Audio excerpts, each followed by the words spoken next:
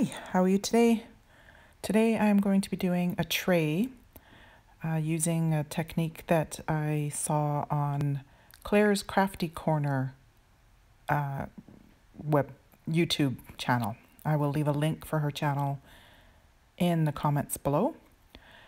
taking just some painter's tape and running it across the inside of my mold trying to create a straight line, which is not my strong suit.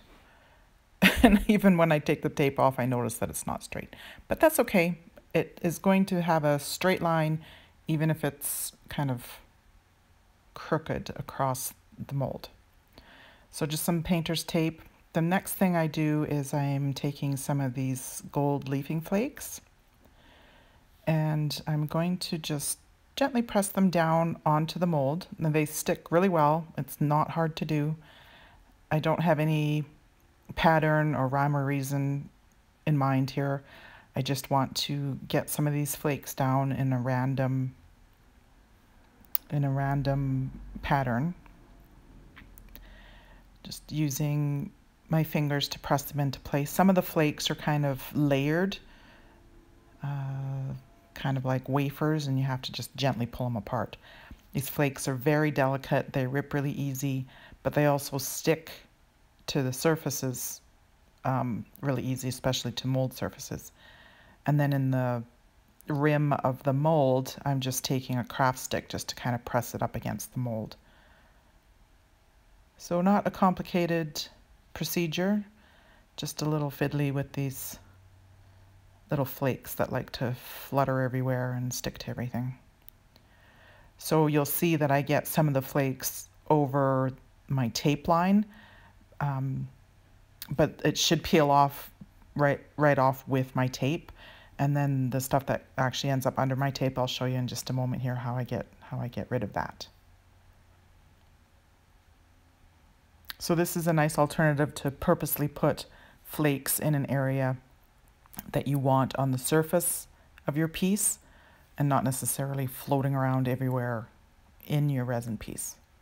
So I thought this was a kind of a cool little idea that she showed and I thought I would give it a try myself.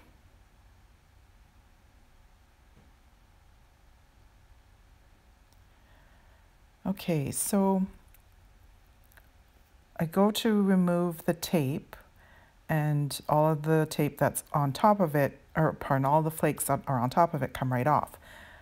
And I'm trying to straighten up that line of that piece that was underneath the tape, or maybe it fell down as I pulled the tape off.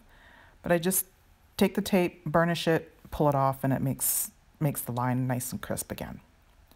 So I'm using two colors. I have a, a green color, an unnamed pigment color from Krystal Resin.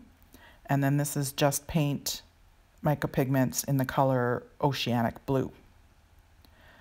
So I'm going to try to have color blocks of the green and the blue on the mold. And if they mix together a little bit, that's great, but I don't want them to mix completely. It's a little bit harder with a thinner casting resin to keep your colors separate because the resin is very fluid um, that's near to water, whereas like an art resin is thicker and it's a little easier to keep your colors separate. But I did let this resin set up for probably about 20 minutes, so it is a little bit thicker than normal.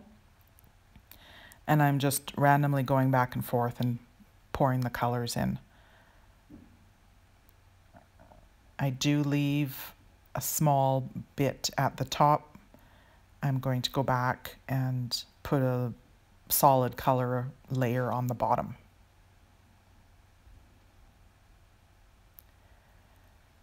So while you're hanging out here with me, thanks for watching. And if you would please leave a comment, let me know what you think of my resin piece and also hit the subscribe and notification button. That would really help and I appreciate it.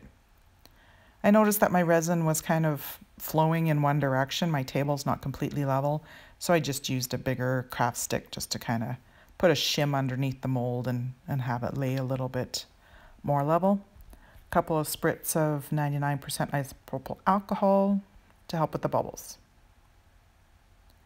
So this time I'm just going to use straight oceanic blue. I'm not using any green. I'm just going to pour a thin layer on the bottom, pardon me, thin layer on the bottom of this mold just to top it up.